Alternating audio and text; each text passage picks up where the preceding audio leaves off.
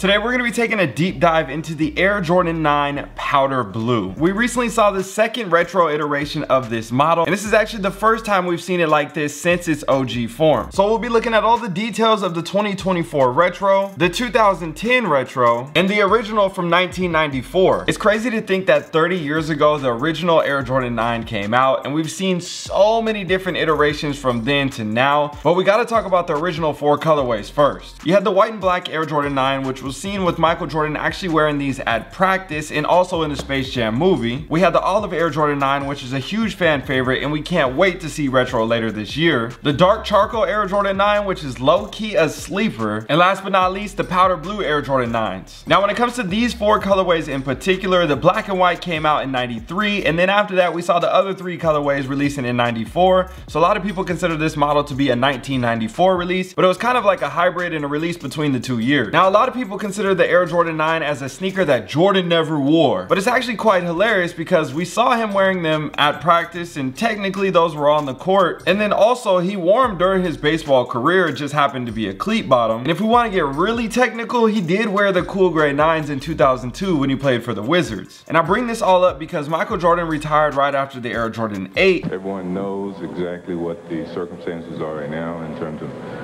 uh, my decision not to play the game of basketball uh, in the NBA. And we can't forget to mention MJ's statue unveiling in front of the United Center. And legend has it, Tinker was the one that decided the Jordan 9 be on the statue, representing him being a global icon. Which later in 2015, that's where we saw the statue Air Jordan 9s that also featured the date of the revealing of the statue inside the tongue. And since we're on a small rabbit hole of the Jordan 9s, can we talk about the PEs during that era? Even though MJ wasn't on the court during the 1994 season, his shoes were still making a scene. There were special PEs made for NBA NBA legends like Penny Hardaway, Latrell Sprewell, BJ Armstrong, Kendall Gill, Mitch Richmond, and Harold Miner. And don't even get me started with the LeBron and Kobe PEs. We'll talk about that later. Let's just keep going on with this review. So now that you guys know a brief history about the shoe, let's go ahead and break down all the details of the 2024 version and show you guys all the differences between the 2010 retro as well, because honestly, there's a lot of differences. So starting with the bottom of the shoe, you have your classic Air Jordan 9 outsole. There are a lot of details to this shoe and we have to dissect each and every one because this outsole speaks volumes in so many different ways, in languages too. During the creation of the Air Jordan 9, Tinker teamed up with innovation designer Mark Smith, and that's where they came up with the idea of the storyline of the outsole and how they would represent Michael Jordan being a global icon through the sport of basketball. So as you can see from these original sketches, there were definitely a lot of different iterations before they got to the final version that we see here today. So looking at the outsole on the right foot when it comes to the heel, you can see that you have a two and a three with the University Blue Jumpman in the center of that, classic to its OG form. And then going up to the front of the foot right here, you have these different words and it looks like they're in different languages because they are. Now here on the right foot, you have French for dedicated, you have Spanish for force, you have Italian for intense, you have French for freedom, and you have German for graceful. Now, one thing that Mark Smith wanted to do when it came to the creation process of this sneaker, and in quote, he said, we were not happy with just taking this one graphic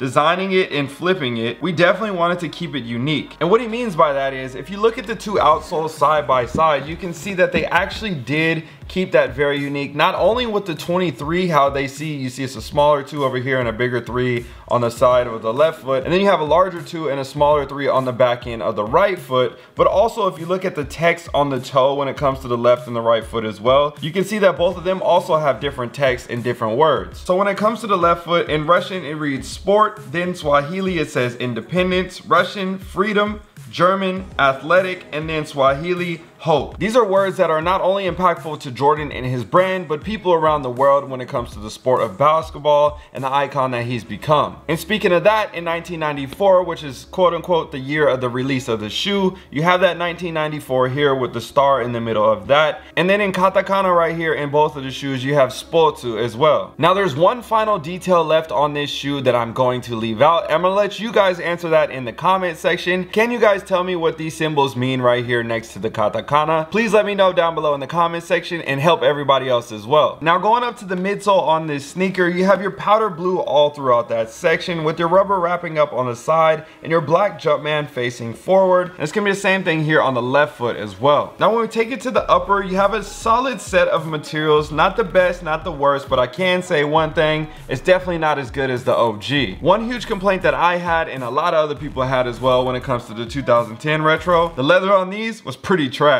So one thing that I can say is these are definitely a lot nicer than the pair from the past, but at the same time, it just don't hit like the OGs. You can see on these photos from the old pairs back in the day, obviously the dead stock pair looks pretty smooth, but the way that the shoe wrinkles and how the material looks on that top vamp area, you can definitely see how nice the quality was. Now, one thing that I do appreciate is the powder blue line on the cut around the leather. This is something similar to the OG and we didn't see this on the 2010 retro, and I definitely think Jordan Brand was paying attention to the details on this one. Oh yeah, if you didn't know by now, my name is DJ, and this is the DNA show. Now going to the back end of the shoe on the heel, obviously the elephant in the room, whatever you want to call it, there's no 23 on the back, and this is what everybody had known from 2010. But if you look at the original from 1994, there was never a 23 on the back in the first place. When it comes to the four OG colorways, the other three did have the 23 on the back, but these ones didn't, and honestly, I'm not mad at it. We have been asking over and over and over again to give us that OG shape and that OG form, and they're doing a good job when it comes comes to something like that. And that's why I appreciate this shoe even more. Now going up to the side of the foot right here, you have your white stitching with your triangular shaped embossed print. And then you have your perforations in the center of that. And these come standard with a pair of all black rope laces. And then when your eye stays here all throughout the upper, that's gonna be a black plastic piece and a more of a matte black color. Just behind that, you're gonna have an all black mesh with the black fabric stitched in the center of that. Now going to the tongue of the shoe, you're gonna have more of that nylon feel when it comes to that. And then you're gonna have a black patch sewn in in the center of that with the Air Jordan branding in the powder blue as well. Now, as you guys remember, when it comes to the Air Jordan 7s, the Air Jordan 8s, and then to the Air Jordan 9s, they all had that booty inside of the shoe when it comes to the full fabric on the back end around the Achilles area, and then that wrapping up around the tongue of the shoe as well. They all had their own little form, but at the end of the day, you could see the progressive evolution of the models over those few years. So when it comes to the back end around the Achilles and the pull tab, you're gonna have that pull tab connected right here and stitched all throughout. Then you're gonna have your global icon logo here in a powder blue with the Jumpman in the center of that, and then a black plastic behind that all stitched down. Another dope touch and detail that I saw on this shoe that I really love compared to the OG, you have that same branding with the patch on the back end of the tongue.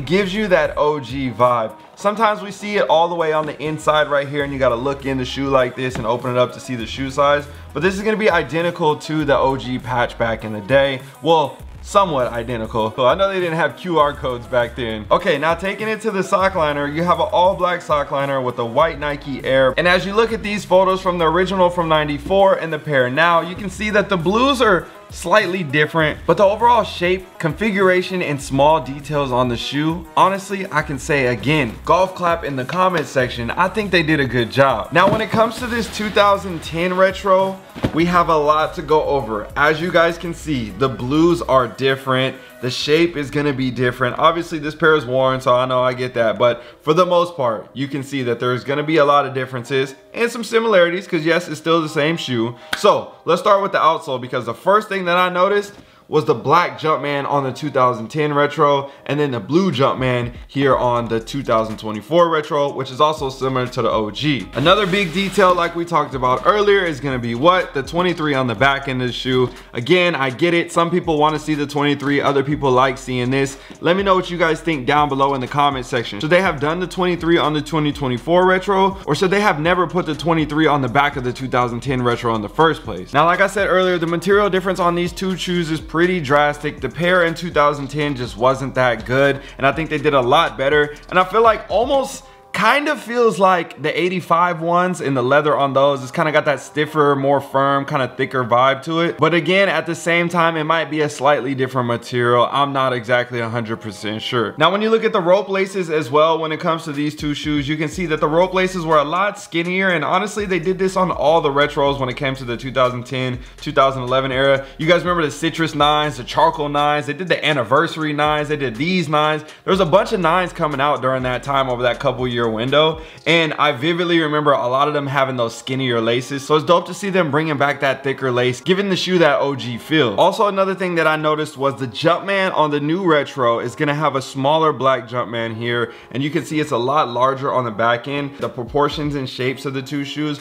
are just gonna be slightly different in different areas. And honestly, I feel like the 2010 Retro did a better job when it comes to the size of the Jumpman on the back of the shoe. Now, before we wrap this up, I wanted to ask you guys a quick question about the nines. Do you remember the commercials that they used to have back in the day? When they said that Jordan wasn't in retirement and that he had another player, alter ego type guy playing on the basketball court and he had Kilroy and all the different stuff like that, Motorboat Jones, or even the Spike Lee commercials of them talking about him being off the basketball court and him not doing that well on the baseball field, but even though he was trying his best, those were definitely some very good commercials and just some stuff that people don't talk about as often anymore. So even though 68% of the people say this shoe is fire and 32% of the people say it's trash, at the end of the day, the majority still wins and I think people still like this sneaker. But again, when it comes to the retail price point, getting the shoe, what's coming out, all the different things, not as much hype behind nines, I could understand why these are still sitting on shelves. But one thing that I can say is you gotta love and respect an OG, whether you do or do not like the sneaker and want it in your collection. Sneakers like this have a huge impact on the culture and are definitely huge impacts when it comes to the timestamps of different eras over the years when it comes to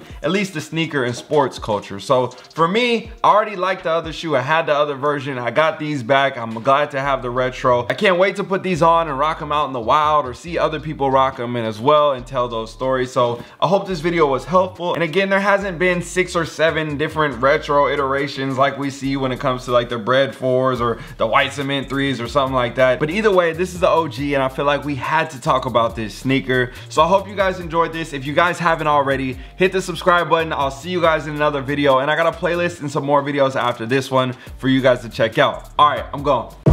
I would never let you down. Yo, if you made it to the end of this video and want to take your collection to the next level, I built a full community with private meetups with me and other members in the community as well. So if you want to be a part of that and get early access or behind the scene looks on how I run my businesses, this is definitely going to be a place where I can help you scale your collection and potentially start investing in other things outside of sneakers like real estate. So hit the link down below in the description and get signed up and I'll see you guys on the inside. in my DNA. The only choice I like to make what I'm aware today. I would never let you down. It's in my DNA. The only